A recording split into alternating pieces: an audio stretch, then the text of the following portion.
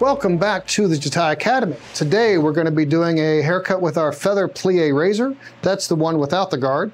And we're going to be doing a masculine shag shape, something that's very LA. So let's get started. Take a natural or center part where it's flat from the first hairline in, which is about right there. I'm taking at that angle so I'm going to take a, a center triangular section and then because I'm leaving a lot of texture in it, I'm going to leave it longer than I think and also the more texture that I put into it, the shorter that it's going to feel. So I'm going to go about from his eyeball to the tip of his nose and cutting that through. And then I'll look at it and see how that's going to look. And I think a little bit shorter for the kind of look we're going for. Not a lot shorter, but a little bit shorter and a little more texture right around the front. All right, so we've got that. That's going to be our guide. And I'm going to go to about the bottom of the ear. So I'm going to pull everything forward. There's my length. Angle my fingers to the bottom of the ear and then we're going to go through channel cut this down and through. Now this differs from a female shag and that the female shag I tend to pull everything forward and go short to long. Here I'm going to angle the front and at the ear I'm going to go short to long. So we're pulling this parallel to my parting there's my ear. So I've got a little bit of a guide of where I'm going to, put my texture in, and then cut my length. See how that shapes up? That's looking pretty good. Next section, parallel to my parting. Put my texture in then cut my length. If I need to cut a little more length off, no problem. Here at the ear, I'm going to take a little more length off. That's looking pretty good. Follow us on your favorite social media platform at Jatai Feather. We're going to go through add a little blade glide to make sure everything's evenly saturated. And then I'm gonna follow the same pattern on this side. Find where the second flat is, go through there. From here, as I continue to work back, I'm going to raise my elevation. The first section I held down here. The next section, I'm gonna hold at that elevation off the peak curvature of the head. So that's gonna bevel my shape around the front. So it's not going to be heavy and hard. It's going to be cutting a curved line into it. So I'll take a center flat section, hold that out. There's my line. Cut that down and through. We've got a little whisper right there. Check that. And I'm liking the way that's looking. So we're going to continue on the same pattern, making sure I got the right elevation. There's my guide from underneath. Channel cut that through. So this is as much about getting the right texture as it is getting the right length and the right movement. There's my line underneath.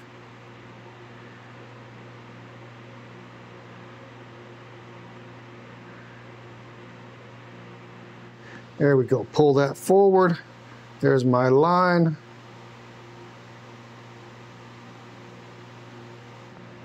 Same thing on the other side. So the next section I'm gonna take is gonna go to the corner of the hairline from the next flat part of the head, which is usually the high point of the head remove some previously cut hair, but still make sure I have enough for a guide. Pull that forward at my elevation. There's my section. Same kind of stroke that I was using before. Make sure I got the right elevation. There's my guide falling out. Cut that forward and through. Last section at the top of the ear. There's my guide. Forward and through. Making sure I get all of that like I want. Now, as soon as I get behind the ear, I'm gonna change the angle. Whereas before I'm working at this angle going back, shorter in the front, longer in the back. Now I'm gonna go much more vertical with my section using this length as my guide. So instead of pulling here and continuing shorter, which is gonna leave me longer in the back and it's gonna make a point, I wanna pull everything forward and then this angle is gonna go straight up and down just like that. I don't have a whole lot of hair, so I don't need to texturize that, but we're going there. That way I can go through and cut the back at whatever length that I want. If I want to leave it really long and mullety, or if I want to bring it much more shorter, but it allows me to leave a corner when the hair transitions from the front to the back, it allows hair to be seen from the front. So it leaves this little corner through here. Same thing on the other side. We're going to continue to follow the same pattern that I was doing before. I went down to the corner of the hairline in the last section. Now I'm going to go halfway between the center and the corner of the hairline. Parallel to my section, anything that hangs over, cut that off. If it needs some texture, we'll put some texture into it. Not a whole lot. Once I get to the top of the ear. Pull that forward. There's my line.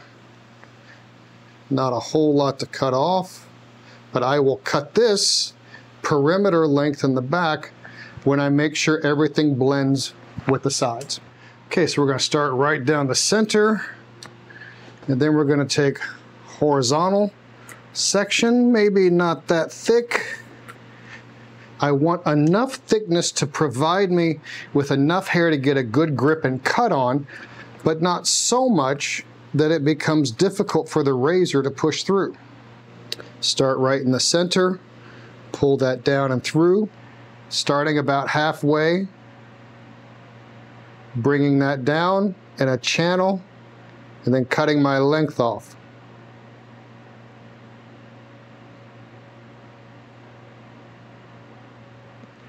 So we're gonna go here, same sort of thing, work all the way through. You notice that my left hand doesn't really move. I will roll my fingers out of the way, but as I'm cutting, I don't cut and move my left hand. I wanna keep that as stationary as possible.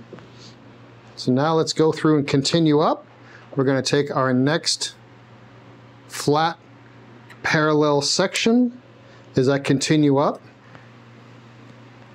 There's my length. Go through, continue to texturize and separate as I cut. Give us a thumbs up, click subscribe, and the notification bell to be notified of future Jatai Academy content. Now here you'll start to see some elevation in my section. Right there. There's my guide length from underneath. Same channel cutting and then cutting the length off to get separation and pieciness to my section. There's my guide. Now I would bet there's not going to be a whole lot of hair here as we continue further up it's going to reach but we're going to take our next section and it's not going to reach. So that is looking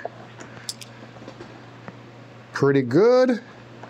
So I got the basic shape in and I think it looks pretty good. I think uh, we're, we're right on with it but I want to make these pieces more defined. So I'm going to go through with my Osaka scissors from Jatai and I'm going to go through and slide cut and point cut this through to make these pieces a little bit more defined.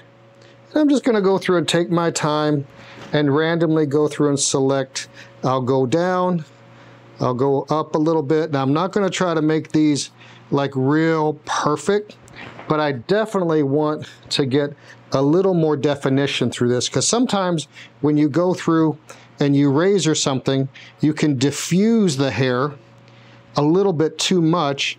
And I want to make sure that I still have a little bluntness in the ends so that we can get that flickiness and that separation. And refining my sides to the back a little bit more. Come on, baby, stop moving. There we go. Refine that through a little bit more. Around the eye, you got to be careful. So if it's a real person, what I'll do is I'll go through and put my hand here and then point cut into it so I don't have to worry about gouging their eye out.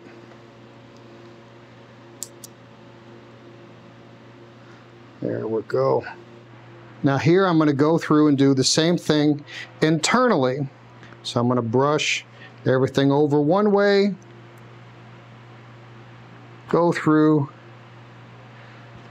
slide through, add a little bit of bluntness internally to help that internal texture pop a little bit more. I think we're not looking too bad. We got the basic shape in it. We got a nice little bit of texture to it, well, a nice lot of bit of texture to it. And that's the whole thing is this shape is a really neutral shape, but it just has a lot of texture to it. And it has this length over the ear that you can kind of tuck behind, but you also want to be able to see that length from behind from the front. So I think that's the key point to this kind of male shag kind of look. You can style it to where it's a little bit wild and free, or you can style it much more smooth, your choice, whatever you feel is right. So please check out the Jatai Academy. There's all kinds of great information on there that will make you a better hairstylist and barber. Also, leave a comment. Let us know what you'd like to see in the future, and we will see you next time. Thank you so much.